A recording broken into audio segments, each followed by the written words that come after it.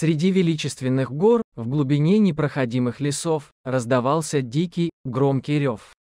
Он мощно проникал сквозь деревья, пробуждая эхо и заставляя замирать сердца.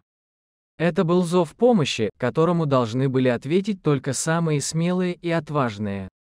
Быстро передвигаясь по серпантинам, группа скалолазов, опытные в своем деле, направилась к источнику этого тревожного звука. Им уже не раз приходилось спасать людей, погрязших в безысходности, но их сердца были открыты и к судьбе животных. Приближаясь к источнику звука, скалолазы не могли справиться с изумлением. Наверху обрыва они увидели прекрасную медведицу, которая, отчаянно ревя, пыталась помочь своему маленькому медвежонку залезть на гору, но она ничем не могла помочь, кроме зова помощи. Малыш скатывался постоянно вниз по склону и никак ему не удавалось забраться наверх к своей маме. Но ему не удавалось, так как медвежонок получил травмы, когда упал с обрыва. Сердца скалолазов затрепетали от сострадания и решимости помочь. Они тут же принялись осматривать местность, искать лучший путь к медвежонку. Но гора была непроходима, а острые скалы стояли как непреклонные стражи, не позволяя скалолазам привести помощь извне. Знали скалолазы, что нужно действовать быстро и точно, иначе драгоценное время истечет. Один из них достал мобильный телефон и набрал номер спасателей. Звонок длился всего несколько секунд, но каждая миллисекунда была важна. Он сказал, что с обрыва упал медвежонок, он в затруднительном положении и необходимо спасти как можно скорее.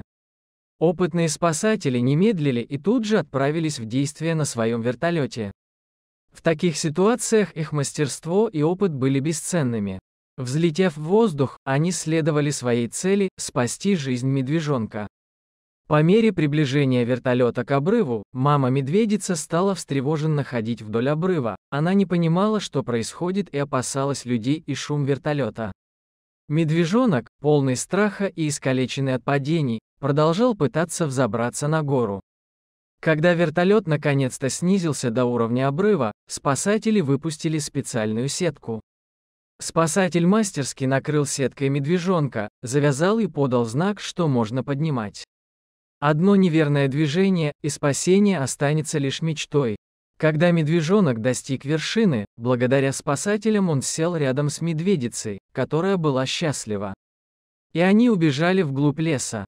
Пережив эту удивительную историю, скалолазы и спасатели остались на обрыве, однако их сердца были полны радости и удовлетворения. Они знали, что смогли спасти жизни двух прекрасных существ, которые теперь снова могут быть вместе и наслаждаться свободой в лесу. Друзья взглянули друг на друга с глубокой признательностью и смирением перед величием природы. Они понимали, что их задача не только помочь людям, но и охранять и сопровождать всех существ этого мира, включая животных.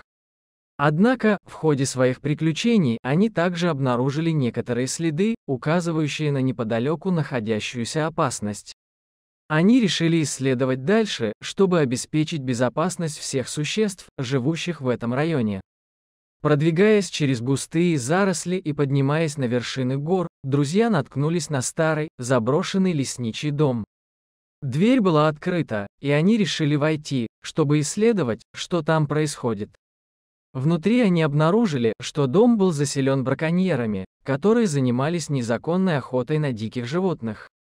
В комнате стояли разнообразные оружия и снаряжение, а на столе лежали списки с видами животных, которых они планировали убить. Скалолазы и спасатели поняли, что им необходимо прекратить эту преступную деятельность и защитить животных от браконьеров. Они вызвали местное ведомство по защите животных и полицию, чтобы провести облаву на браконьеров. Вместе с правоохранительными органами они организовали спецоперацию, чтобы задержать браконьеров и освободить пленных животных.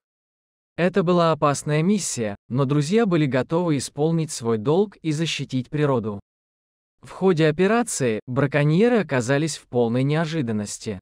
Они были быстро и эффективно задержаны, и их предприятие разгромлено. Все животные, которых они держали в плену, были освобождены и возвращены в свои естественные среды обитания. Победив зло и установив порядок в этом уголке природы, друзья остались на некоторое время в этом месте, чтобы помочь местной организации по охране природы восстановить порядок и создать систему контроля за незаконной охотой. Все это время медведица и ее медвежонок стали символами надежды и возрождения для местных жителей. Их история поведала о силе любви и сострадания, которые способны преодолеть самые сложные испытания. В итоге, местные жители узнали об истории спасения и борьбы против браконьеров, и они были вдохновлены на защиту природы и сохранение окружающей среды. Друзья-скалолазы и спасатели покинули этот район в надежде, что их приключения привнесли перемену в жизнь не только медведицы и медвежонка, но и всего сообщества. Они продолжали свою работу, спасая и защищая животных, а также стремились создать мир, где каждое существо имело равные права на жизнь и существование. Дорогие друзья, если вам понравилось видео, поставьте лайк. А также подписывайтесь на канал, где наши авторские истории выходят каждый день.